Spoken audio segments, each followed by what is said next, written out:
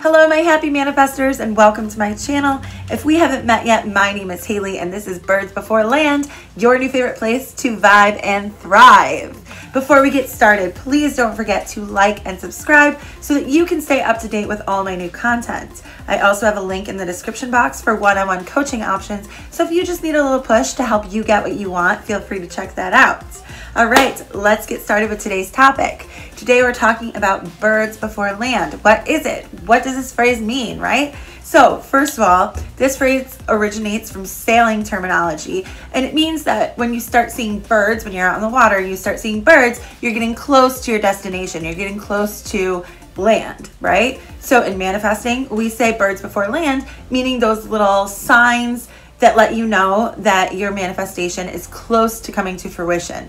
So, if you are manifesting a car, for example, let's say you want to manifest an orange Hummer, right? And you start seeing orange Hummers everywhere, and you're like, wait, okay, since when did everybody go out and buy an orange Hummer, right? Why are they everywhere now? That's kind of the universe's way of saying, listen, we hear you, we know what you want we're working to get it to you and it's coming, right? It's on its way. So these are just kind of little signs to let you know that what you want is close to happening. So if you're manifesting a specific person, you might see um, their name everywhere. You might hear songs that remind you of them. You might even smell their perfume or their cologne.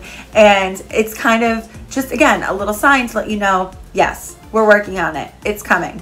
So when I think about um, my manifestations that have happened, a lot of times I get birds and I always just say, thank you, thank you, universe. I know it's on its way. I know we're on the right path. And it's just kind of my confirmation that yes, this is happening. Things are happening behind the scenes, as we say in the manifesting community. And you can't always see um, what's happening. And these are kind of little tidbits to let you know that it is working.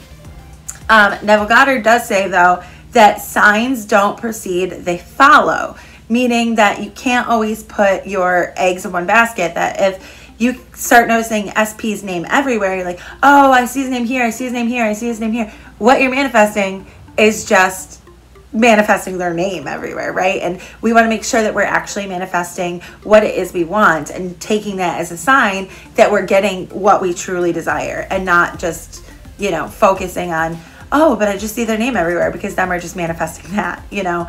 So um, make sure that you are um, that you are focusing on what it is you desire, and you're just kind of saying, "Thank you, universe. Thank you for letting me know that it's on its way. Thank you for letting me know um, that I'm on the right path." All right. I hope this helps.